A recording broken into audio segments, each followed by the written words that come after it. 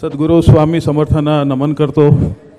व्यासपीठावर बसलेले महाराष्ट्राचे लाडके मुख्यमंत्री एकनाथजी शिंदेसाहेब आपले लाडके आमदार पी डब्ल्यू डी मिनिस्टर माझे मित्र रवींद्रजी चव्हाण आपले लाडके खासदार श्रीकांतजी शिंदे गणपतजी गायकवाड आमदार रवींद्र पाठकजी विश्वनाथ दादा भोईर आणि प- संपूर्ण व्यासपीठावर बसलेले प्रतिष्ठित सर्वप्रथम मी माननीय मुख्यमंत्री साहेबांचे अभिनंदन व्यक्त करतो की माझ्या या म मतदारसंघात आज जवळजवळ शंभर कोटीच्या वर शंभर कोटीच्या वर कामांचं उद्घाटन झालेलं आहे. मी खरोखर आभारी आहे. मी श्रीकांतजी शिंदे यांचेही आभारी आहे की आम्ही कामासाठी भांडत असतो भांडून भांडून कामं आणा असं सांगत असतो.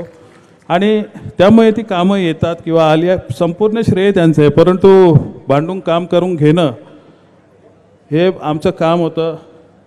अडीच वर्षाचा कालावधी हा वेगळा होता. त्यानंतरचा काळ वेगळा आहे साहेब. आता आपण आम्ही समर्थनार्थ आहोत आमच्या आपल्या त्यामुळे आपण अधिकाधिक निधी त्यातून द्याल. आमच्या डोंबिवली शहराला स्पेशली कल्याण शिलफाटा रोड आहे. त्याला त्यासाठी तो कसा चांगला होईल सुरळीत होईल यासाठी अधिकाधिक आपण मार्ग काढू शकतो.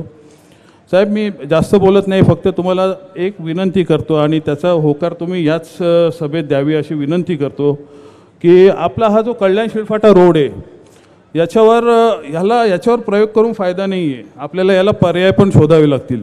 त्यामुळे साहेब तुम्हाला एक आठवत असेल की तुम्ही आणि माननीय हरिश्चंद्र पाटील दादा आपले माजी आमदार यांनी रेल्वे समांतर एक रस्ता तुम्ही प्रपोज केला होता एम एम आर डीला त्याची आपल्याला नितांत गरज आहे.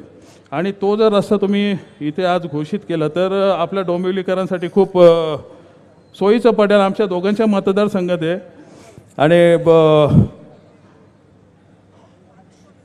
साहेबांना माहिती आहे तो रस्ता खूप चांगला ब- तो जर केला असा आपण कल्याण शिलफाटा रोडला जर पर्याय निर्माण केले तर नक्कीच ही ट्रॅफिक कमी होईल. आज उसरगर चंदप रोडचं पण आपण उद्घाटन केलं आहे इथे. त्यामुळे तो रस्ता पुढे आगासनवरून पुढे कसा जाईल आणि कल्याण शिलफाटा रोडचा लोड कसा कमी होईल हेही आपण जरा लक्ष देऊन करू. आम्हा मला कधी खासदार साहेबांनी सांगितलं की आपण बसून एकत्र येऊन जर काम करायचं असेल आम्ही तुमच्या तिकडे ऑफिसला घरी येऊ आणि तिथे कामं सांगू. परंतु कामांसाठी कुठे जायला काय इगो किंवा असं नाही आहे आमच्या अशी लुटूपुटीची लढाई असते परंतु असं काही नाही आहे आम्ही व्यवस्थित काम करत असतो आ अधिकाधिक कामं घेऊन येऊ. आणि यापुढे आम्हाला अशीच साहेब आम्हाला निधी देऊन जास्तीत जास्त आम्हाला उपकृत करतील. काही कामं आपल्याकडेही टाकलेली आहेत. मी ब- आज मानपाडा रोडचा जो ओपनिंग केलं त्याचा स उल्लेख करेन की कारण ते उल्लेख केल्याशिवाय ब त्यांची नावं घेतल्याशिवाय मला तो काम पूर्ण झाल्यासारखं नाही वाटणार. की मी जेव्हा निवडून आलो आल्याबरोबर मान्य राजसाहेबांना सांगितलं की मानपाडा रोड हा खूप महत्त्वाचा रस्ता आहे. तुम्ही जरा चव्हाण साहेबांशी बोला. तेव्हा P W D minister Ashokji Chavan साहेब होते. आणि त्यांनी तात्काळ त्याला ब राजसाहेबांनी त्यांना फोन केला आणि त्यांनी मंजुरी दिली. माननीय ब- खासदार साहेबांनी त्याचा पाठपुरावा केला. त्यामुळे तो रस्ता झाला आहे एक चव्हाण साहेब गेले आता दुसरे चव्हाण साहेब आलेत.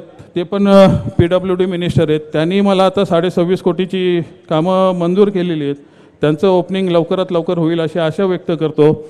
आणि आपण सर्व एकत्र येऊन या डोंबिवलीकरांसाठी या के डी एम सीसाठी आपण काय चांगले देऊ शकतो यासाठी अधिकाधिक प्रयत्न करू. कोणतीही नकारात्मक भावना न ठेवता मी आपल्या साथीने काम कर क- करण्यास नेहमी तयार असेन अशी ग्वाही देतो आणि माझे दोन शब्द संपवतो. जय हिंद जय महाराष्ट्र. धन्यवाद. एबीपी माझा.